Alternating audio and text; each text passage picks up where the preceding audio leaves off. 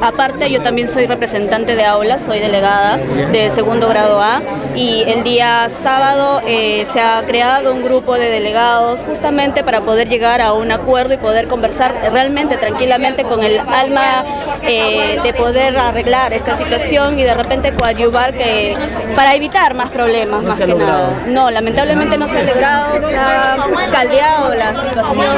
Esta era una situación que no queríamos, que no esperábamos porque realmente nosotros queríamos manejarlo internamente como preocupación de padres porque como ustedes entenderán en temas legales realmente nosotros desconocemos cómo lo están llevando porque esto ya está judicializado, si bien es cierto yo también soy profesional en derecho, pero más allá de eso no tengo interés, creo que ningún padre tampoco lo tiene, para eso solamente queríamos convocar también en base a un comunicado oficial que se había generado también el día sábado para circularlo a todos los medios de nosotros que manejamos internamente cada aula, un grupo de WhatsApp. Eh, solamente queríamos coordinar tranquilamente y calmar a todos nuestros padres de familia, que para eso nosotros como representante de aula queríamos arribar a un acuerdo. Como representante de aula, ¿ustedes han conversado con el señor, eh, los dos que están en, Estábamos esperando la oportunidad justamente de conversar tranquilamente el día de hoy, pero como reitero, no hemos podido arribar a ningún acuerdo.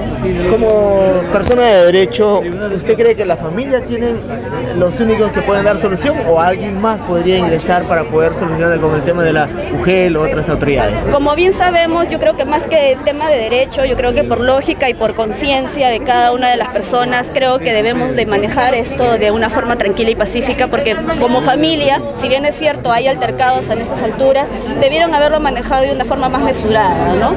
Lamentablemente esto se ha hecho ya Vox Populi, estamos ahora en boca de toda la sociedad en Guacho, pero este, justamente lo que queríamos y buscábamos como padres de familia era netamente buscar la pacificidad. Solamente que nosotros como padres derecho punto central, ¿no? Las autoridades de registros públicos que se pronuncien, porque al parecer esa documentación está entrampada ahí, ¿no? Para saber quién es el representante legal, ¿no? Correctamente, y como ustedes saben, ese, ese documento que manejan los registros públicos también es este, público, podemos ir a averiguar cualquiera de nosotros para saber también y estar tranquilos, para saber quién es el que realmente lleva las riendas de esta administración. Entonces, este... ¿Creen que debería pronunciarse ellos? Deberían de pronunciarse siempre y cuando pues también este, se pida, porque como usted eh, verá, es un tema judicial y realmente nosotros, más allá de lo que lleva el tema legal, nosotros solamente queremos la tranquilidad de los padres de familia para poder nosotros mandar a nuestros hijos a que sigan con la, con la educación acá y que no nos veamos afectados ni los padres ni los niños. Que se retiren al personal de seguridad. Eh, ahorita vamos a esperar respuesta de ello porque como entenderán recién ha entrado con presencia de la UGEL para ver a qué puerto arriban también porque como entenderán pues eh, ahorita no se sabe quién de las dos partes es la administradora y de repente es posible que la UGEL también tenga una... Eh, se tome posesión, claro, tome posesión de esta situación.